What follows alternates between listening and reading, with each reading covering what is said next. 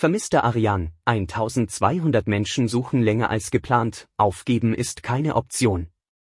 Bremerförde, am Sonntag bildeten rund 800 Einsatzkräfte eine 1,5 Kilometer lange Menschenkette, um den seit Montag vermissten Ariane, 6, aus dem niedersächsischen Bremerfördelen zu finden.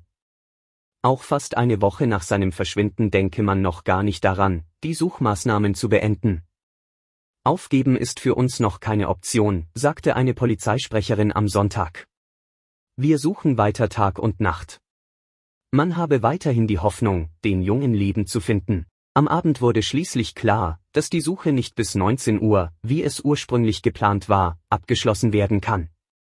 Auch nach dem Zeitpunkt soll es deshalb weitergehen, wie ein Polizeisprecher den aktuellen Stand der Dinge erklärte.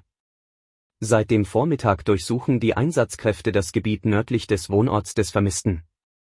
Gestartet wurde im Bereich der Ortschaft Kranenburg. Von dort sollte die Suche in Richtung Süden bis nach Elm verlaufen, teilte die Polizei am Mittag mit. In diesem Bereich sind demnach in den letzten Tagen immer wieder Fußspuren gefunden worden, die von Arian stammen könnten. Ziel der Suchkette sei eine möglichst lückenlose Durchsuchung des gesamten Bereichs, heißt es weiter.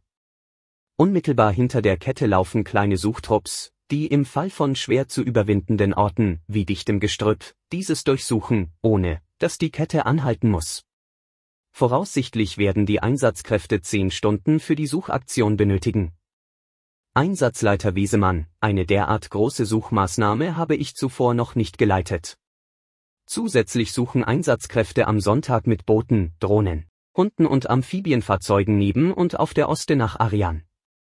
Das THW und die Feuerwehr, die laut Polizei erneut gräben und die darin befindlichen Rohre durchsuchen, werden durch eine Reiterstaffel in den Örtlichkeiten Gräpel, Kranenburg und Estorf unterstützt